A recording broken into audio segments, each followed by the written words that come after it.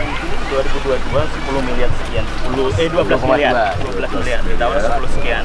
Tangan pertama adalah 3,7 Bapak tadi dari awal tadi pelebaran. Nah, terus ini Bapak yang spot ini yang kita berdiri ini 3,45. 3,45 yang ini ya? Iya. Ini ini nyambung ya ini ya? Ini Bapak ini Bapak. Ini yang kita biru. Oh yang biru. Iya. Yang biru ini spot satu. Ini yang spot satu tadi pelebaran Bapak. Oh yang pelebaran Iya. yang oh yang ini Nah, merah. Iya betul. Terus Terus? yang kedua ini adalah yang eh, spot spot 2, spot 2 yang 3,4 Bapak. 3,4. Nah, yang di spot 2 ini kurang lebih di sini Oke. Bapak. Terus ini yang terakhir. Nanti Oh. sana, ini yang viral. Mohon izin saya nunjukkan video ke Bapak. Kelihatan di ujung sana. Videonya kayak gini. Seperti di Lampung kurang lebih. Oh ya. Udah dikerjakan yang ini? Sudah Sudah selesai, semua, Bapak. Oh sudah selesai. Ini Bapak. Posisi Oh yang itu ya. ya. Ini sekarang. Ini posisi Bapak. Terus ini persis sekarang. Sudah 100%. Bapak ditunggu sana. Oh ya ya. Masyarakat sudah sudah. Ya ya. Oke. Jadi yang spot tengah yang putih tadi udah beres? Eh, itu mantap bapak mantap Oh mantap, artinya, bagus, bagus, artinya bagus. masih ya. bagus Oh ya. memang aspal tinggal sekitar empat ke mana Oke, oke, oke. Ini kan jalan kabupaten Pak? betul betul Dapat pembuatan Yang ini Bankiu ya? Betul, Ibu. Iya, Pak. Iya. 10 koma sekian ya, Pak. Ya ya. ini eh, detailnya bapak konstruksinya ini bapak Ini kalau terus tembusnya ke mana? ke bandar sama ke gerlang pak gerlang Bandar, Oh, bandar nyambung ke Gerlang lah, Pak. Oke. Oh langsung sampai Banjarnegara ya? Perbatasan. Jadi Gerangnya itu Bapak perbatasan dengan kecamatan Ya, ya, kurang lebih. Oke, piye? Piye nggak sekolah? Lah nyambut.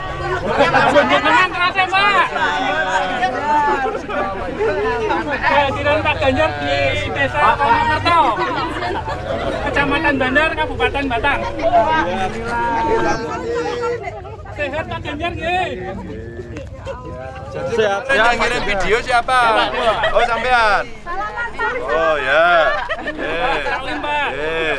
Pak. Tadi kemarin jalannya kayak apa? Ini Pak, jalan kebo. Iya, jalan apa sapi? Jalannya begini, Pak. Oh ya, nggih. Oh. Oh, iso iso dilebar kira? Oh, coba. Eh, eh, eh. minta anu pak permintaan saling pak Pak Salim, Pak. Coba. Nih, kasih tahu dulu sih. Oh. Jalan ini rumah ini yang mana? rumah itu. Hah? Itu mie ayam itu depan itu pas yang ini. Nah, ini, rumah ini sekarang ini. Oh, itu dulu dulu, nongkrong tiba. Oh, itu pesnya di sini. Nah, terus sampai lapor siapa? Posting aja di media Pak. Jalannya Orang lapor. Buatan Pak. Oh, sesuk lapor nek ngono kuwi meng posting posting. Lapor ana bupati, ada kades, ada camat sampaikan Pak Camat, Bupati, ini jalannya gimana? Nanti dengan ikut program apa namanya eh, yang ada di desa, apakah musdes ya, di mucam, apakah kemudian musrenbang, sampaikan, sampaikan, terus kemudian dari apa namanya eh, proses itu jenengan nanti bisa tahu. Nah, diposting kok ah, orang ya bosi. Nah, saya kira wis dirampungi toh. Sudah, sudah Matur nuwun, wis matur nuwun karo Bupati. Oh, matur sudah, sudah. Matur nuwun karo Bupati, posting meneh dalane wis didandani ngono. Jadi nanti publik masyarakat akan tahu gimana cara mereka melapor ya. Atau bisa jadi melalui aplikasi Jalan Cantik. Bisa juga pakai lapor grup. Masa wis nganggo kaos kaya ngene ora iso lapor ya. Oh, yang di sini. Yang tinggal di sekitar sini siapa? Ya, jenengan. Jalannya piye jalan ini? Oh kayak kali. Lah ini, ternyata jalan ini membelah KITP ya tadi ya? Yang di sana? Oh yang tadi itu kita lewat tengahnya ya? Oh ya. Ya ya. Ya. Pak, Pak, kurang satu. Oh, drainase. Ya. Kalau hujan masih airnya di Lah jalan. iki ono iki drainase. Oh, semene.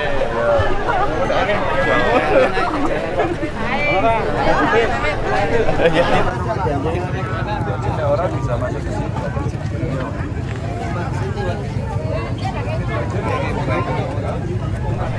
Ininya enggak dalam nanti rumah Pak. Iya, Pak. Ya, ya, ya. Oke, ya, oke. Oh iya, ya nanti sih disiapkan ini drainase ya. Drainase Pak, kanan kiri Pak. Pak, kanan kiri drainase Pak. Kasih jalan dulu, kasih jalan dulu. Oh iya, sikile ya ora enak.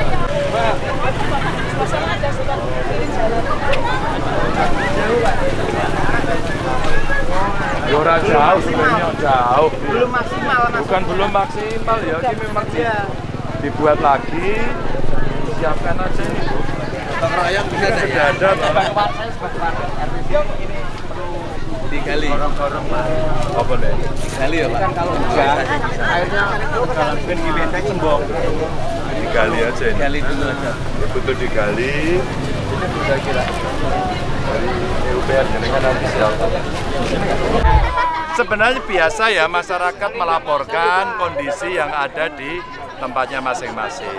Edukasinya adalah satu, kalau terjadi sesuatu lapornya ke mana?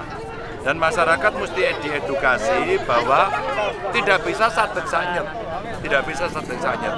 Maka ada proses mereka mesti melaporkan. Maka tadi si pelapornya saya tanya, Anda melapor ke mana? Anda melapor ke mana? Tidak, tidak melapor, pokoknya tak viral ke. Keliru banget ya tidak, itu hak masyarakat. Tapi alangkah baiknya kalau itu dikasihkan ke aparatur, kecuali aparaturnya diam. Maka kemudian ketika itu viral ke mana-mana, eh, kita mencoba menangkap. Nah, tentu saja eh, tidak semua kekuatan yang ada di pemerintah itu secara finansial cukup. Maka contoh di Batang, ya ternyata anggarannya tidak terlalu cukup. Maka pada saat kemudian Batang kita minta piye caranya merespon persoalan-persoalan yang muncul di masyarakat, ya Pak kami terbatas Pak, ya prioritas no, ya. Yang tidak penting potong masukkan dulu. Kalau masih kurang, nah minta saya. Maka ini bagian dari bantuan keuangan provinsi yang coba kita sinergikan dengan kabupaten. Nah dengan cara ini harapannya bisa selesai. Dan alhamdulillah tadi ada tiga ruas ya. Ruas pertama udah kita bantu yang ternyata membelah KITB. Maka kawasan industri itu tidak akan juga bisa berjalan dengan baik kalau pemerintah daerahnya nggak dukung. Maka peran provinsi, peran kabupaten harus dukung. Sehingga area utamanya jadi, pendukungnya mesti kita bikin. Maka itu nanti pertumbuhan ekonominya bagus. Yang kedua, tentu sekarang ada kebijakan. Kalau kemudian anggaran terbatas karena dua tahun kita nangani pandemi kemarin nggak eh, nggak bisa mengcover seluruh program infrastruktur. Sekarang ada ya bantuan provinsi, ya bantuan dari pusat, infrastruktur di pedesaan. Ya, itu yang kemudian bisa diusulkan sehingga masyarakat akan bisa jauh lebih cepat. Toh sumbernya semua juga dari pajak. Kita minta ke pusat, pusat juga dari pajak daerah. Gitu. Jadi sama aja. Tapi butuh inisiatif.